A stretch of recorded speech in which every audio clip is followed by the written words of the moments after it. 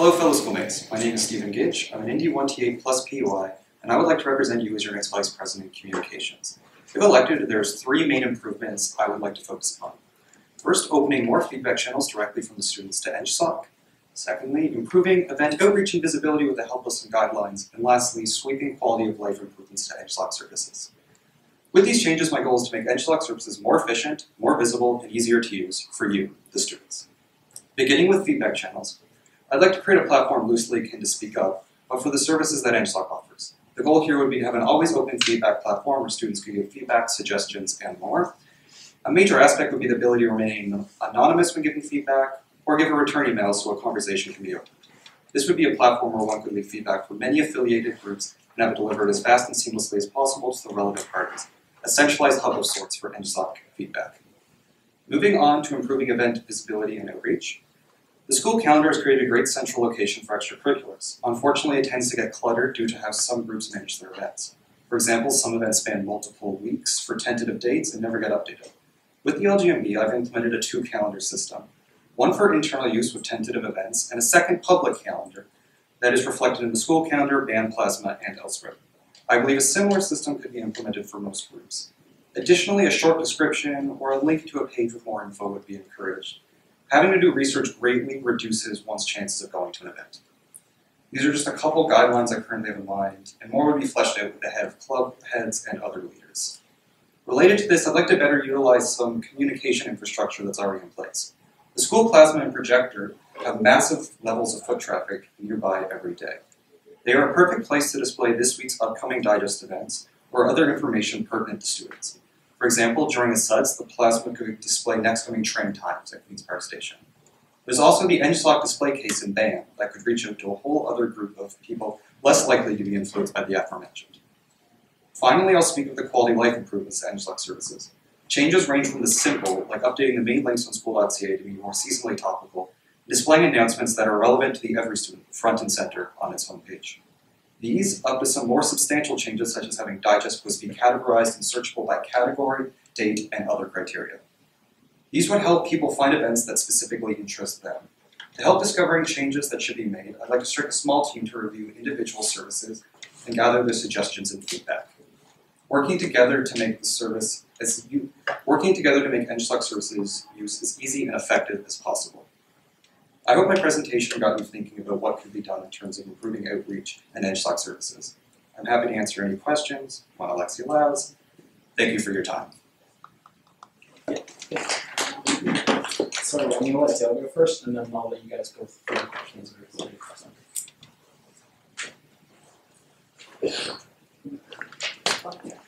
Thanks.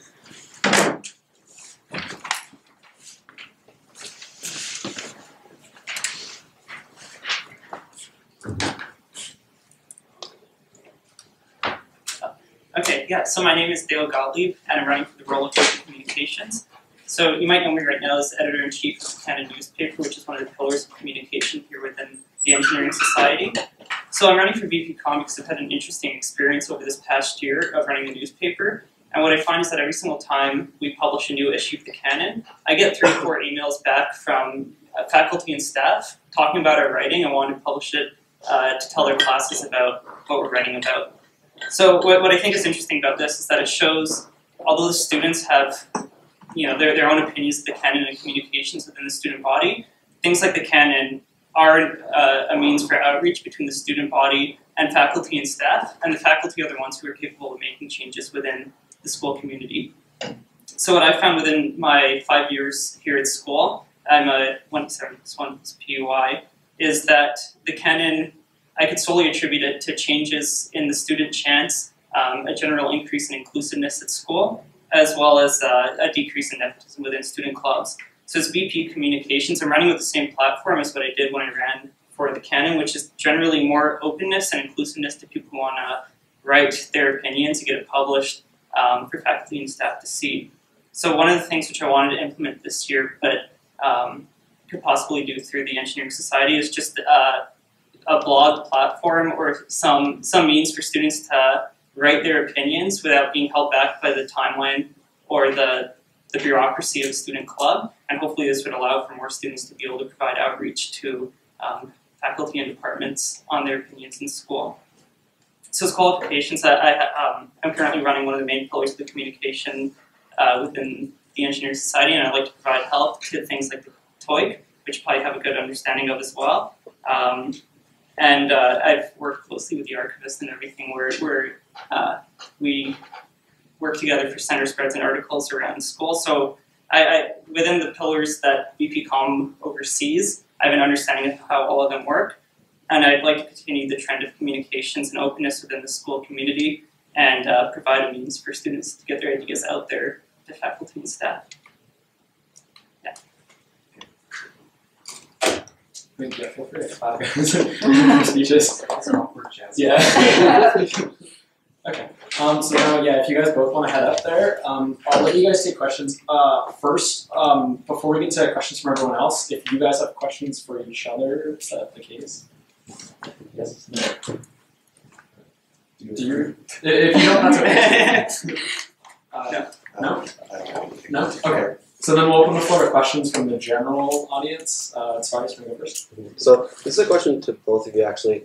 Um, one of the largest criticisms that the Engineering Society receives is the fact of the way and the frequency in which we do mass communication to the student body. So there's a lot of people that feel we actually they actually get too many emails from us or too many posts from us. Um, this year, Harry worked towards cutting that down, but we still actually did receive some complaints on some frequency of it and even the methods of doing so. Sometimes posting on Facebook and not everyone's on Facebook or getting the notifications. In terms of mass communication, do you uh, guys even initially have any ideas either on improvement or continuing was done or just ways that we can um, kind of continue to improve that so people are getting relevant information in a timely manner and still knowing about everything? Um, I'm just interested to hear your thoughts on the, the mass communication aspect. I'm not going to tell you guys. We'll just try to hear it specifically. Me the second response. Okay, yeah. Um, so I, I, I guess uh, students are complaining about emails and uh, and mass communication. I know myself when I there, there's people on Facebook when I see them post like you know it's easy to ignore it sort of thing, right? Um, so I, I, think there could be um, sort of a, a centralized system because I know VPCOM oversees the website as well. Um, possibly something we can post notifications there, and then students have the opportunity to check. Um, and then it could be a once a month notification thing where people click on it and they see notifications um, from a previous period of time. Um, another thing which I always look into is, is the emails over Facebook. So I, I do think emailing is one of the most efficient ways to get communication across to students and um, possibly announcements as well within student classes, like student bodies of uh, class representatives and stuff. Students would listen to that as well. So Um, I agree that generally email is the best. There's people who are not on Facebook, I'm not a large Facebook user. It's very easy to ignore. I do see additional opportunities being had with just say the homepage of skule.ca. Um, think of things that would normally be sent out as an independent email announcement, say grad photos. That, stuff like that shouldn't be difficult to find if you're looking on the school website. You should be able to go to the homepage and there'd be a prominent say announcement section on the front page. This is not school digest, not the calendar. These are bench slack announcements. These are the, I kind of see skule.ca being another good source for that because people can direct it and uh, be a thing. But I agree. For most communications, email seems to be the strongest because it is universal. Everyone has an email address. We don't have the risk of uh, leaving someone out who's potentially going to be very good for your community. Great, thanks. Uh, yeah, just remember to keep your voices up because of the recording device. Um, so in the, I'd say that probably the past two years, um, the VPCom has been pretty adept with um, sort of like web development and being able to make changes like on the fly, like skule.ca or similar um, things like that. Um, so my question to both candidates is, so how do you your current kind of web dev experience? And if it's not great, is that something you either want to kind of improve personally, or would it make, be more cost effective to kind of just delegate most of that work to the webmaster, working with them obviously, but just like how would you kind of approach that, assuming you don't you don't believe that your uh, web web development skills are uh, like as good as they necessarily could be in that role. Um, fairly moderate web development background. I've recently uh, rebuilt toboggan.skule.ca from scratch to better meet the new brand guidelines that I've laid out. Um, I also ran the band website, revamped that. I am very comfortable with front end web design. Uh, back end is definitely an area in that I would like to work closely with Webmaster. Server side scripting is not my forte. Making things look pretty and like laying things out in an effective manner, I would say that I'm strong. Yeah, um, so I, I don't have any experience with web, design. I program at work, hopefully I can learn it, I guess. I, I would work closely with the webmaster, which I'm currently doing already this year with the, with the Cannon's website, um, which is back up today after, after being out for a while. So um, it, it would be kind of a close role with them and uh, just making sure that, that the layout and everything looks, looks appropriate. And um, Questions. I have a question uh, for Steve. Um, you mentioned like you wanted to create a platform similar to Fiddle.school.ca. I'm wondering what kind of data are you hoping to collect on it, or is it just supposed to be a platform for people to like submit comments? Like, how are you planning to sort of aggregate that and make any changes to any new things that Amazon wants to do? So I think, say a affiliate organization decides they want to harness the feedback through this platform, they would have the opportunity to lay out how they want their feedback.